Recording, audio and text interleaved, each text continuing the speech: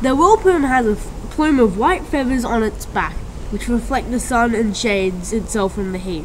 The plume is held up by bone and very little skin, meaning that the sun evaporates little water from the.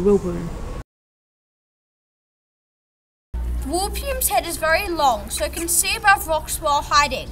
It has a sh very sharp beak used to kill animals and break open cacti. The wheelplume has a large body covered in white feathers. The wheelplume has an extra organ like a balloon that stores water. The wheelplume's legs and feet have a very hard coating which protects them and offers defense in fights. Their knees are backwards so that they can run very fast.